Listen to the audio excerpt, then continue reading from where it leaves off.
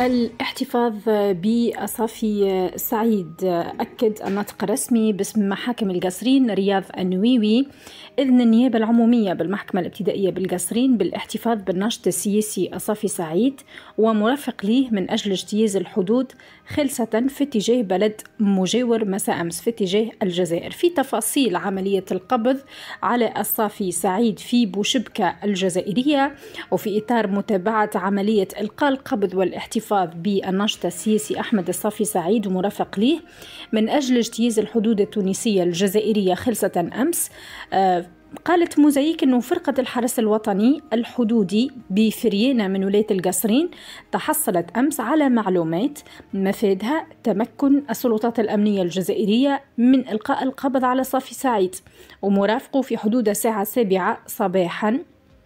بعد قيامه باجتياز الحدود وتوغله داخل التراب الجزائري من جهة دوار سيدي ظاهر قرية بودرياس من معتمدية فوسينا آه، على مستوى العلامتين الحدوديتين 206 207 وقامت الوحدات هذه بإيقافه مع المرافق وتسليمهم للسلطات الأمنية الجزائرية بقرية بوشبكة من ولاية تبسة في انتظار إحالتهم على بلدية لحويج بيت دائرة الماء الأبيض واتخاذ الإجراءات القانونية اللازمة في شأنهما. جدل كبير آه، صار على ذلك. نلقاو برشا ناس علقت على آه، هذا الخبر. من بينهم رياض جراد قال صباح اليوم ألقت السلطات الجزائرية القبض على الصافي سعيد محاولا الهروب واجتياز الحدود خلصة.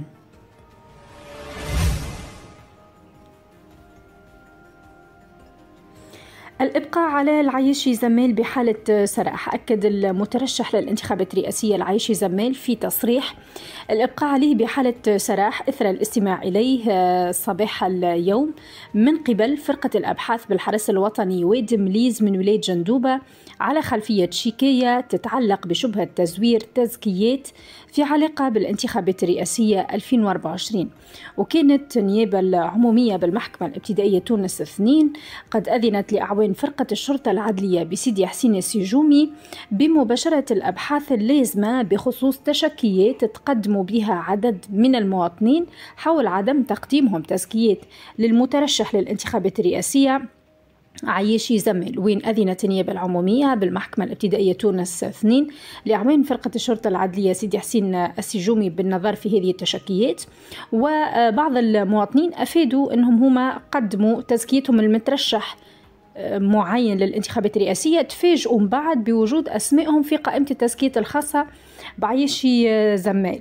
آه، واحدة أخرى قالت أنه هي ما قامتش بتزكية حتى حد ولقات روحها مزكية العيشي آه، زميل طبعا آه، تقرر الإذن بفتح جملة من المحاضر العدلية وإجراء السماعات والمكافحات القانونية اللازمة وإجراء جملة من الاختبارات الفنية.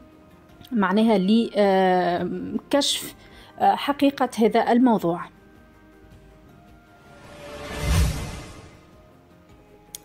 في نزاعات الترشح للرئاسية في طورها الاستئنافي المحكمة الإدارية تتلقى تعنين اثنين. وين أكد المتحدث الرسمي باسم المحكمة الإدارية فيصل بوغر في تصريح له يوم أمس. تلقي المحكمة الإدارية زوز طعون في إطار نزاعات الترشح للانتخابات الرئاسية 2024 في طورها الاستئنافي من من المترشحين. عبد اللطيف المكي ونجي جلول وقال بوغرة أنه تم تعيين جلسة مرافعة أمام جلسة عامة. قضائية ليوم الخميس القادم. هذا الطعنين وصلوا إلى حدود يوم أمس.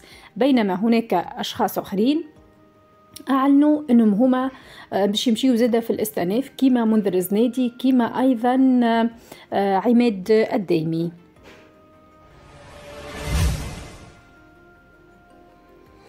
وزير الداخلية وسفير أمريكا يناقشان مسائل تهم الأمن ومكافحة الإرهاب. تحدث وزير الداخلية خالد النوري في لقاء ليه بمقر الوزارة مع سفير الولايات المتحدة الأمريكية بتونس جويهود والوفد المرافق له حول عدد من مشاريع التعاون المشتركة ذات الصلة بمجالات الأمن ومكافحة الإرهاب والجريمة المنظمة والهجرة غير النظامية. مثل اللقاء اللي حضره كاتب الدولة لدى وزير الداخلية المكلف بالأمن سفيان بالصادق مناسبة لاستعراض علاقة العلاقات والشراكة المتميزة بين الجانبين التونسي والأمريكي وتأكيد الحرص المتبادل لتعزيزها وتنويعها خدمة لأمن ومصلحة الشعبين الصديقين حسب بلاغ وزارة الداخلية.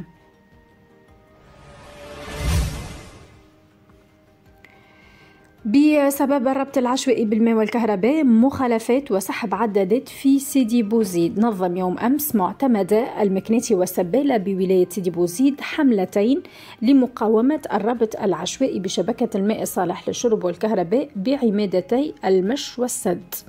وأسفرت الحملة في عمادة المش من معتمدية المكنيسي عن رفع 24 مخالفة. تتعلق بالاعتداء على القنوات واستغلال مياه الشرب في النشاط الفلاحي. كما شملت التدخلات الميدانية إزالة أثار الرابط العشوائي وسحب 14 عداد آه، على أن يتم اتخاذ الإجراءات القانونية ضد المخالفين.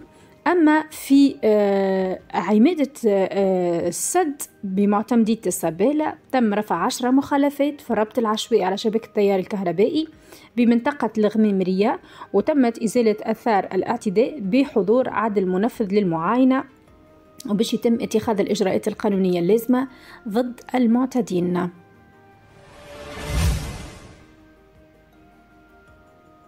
في ولاية سوسة بطاقة إيداع بالسجن في حق شخص لممارسة الطب دون رخصة. أصدرت النيابة العمومية بالمحكمة الابتدائية سوسة 2 بطاقة إيداع بالسجن في حق شخص من أجل انتحال صفة طبيب وممارسته للمهنة دون آه، رخصة وفق إفادة الناطقة الرسمية باسم آه، المحكمة هجر عيش.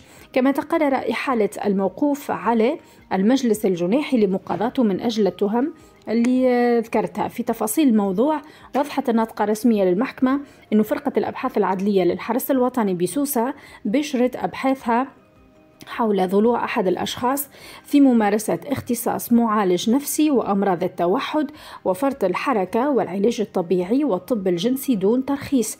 وبعد استشارة النيابة العمومية داهمت الفرقة المذكورة العيادة الطبية للمعني بجهة حمام سوسة أين أمكن لها حجز مبلغ مالي متأتي من عائدات فحص المرضى وشهادة طبية تحمل ختمه بصفته طبيب مختص.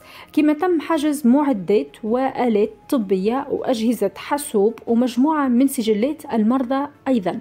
أضافت عيش أن وقع سماع ممثل عمادة الأطباء إذ تأكد أن الطبيب المزعوم هذا غير مرسم بالعمادة وغير حائز على الشهادات العلمية المعترف بها ويعني يتحيل على المواطنين ويدعي أنه طبيب ويعين المرضى وعن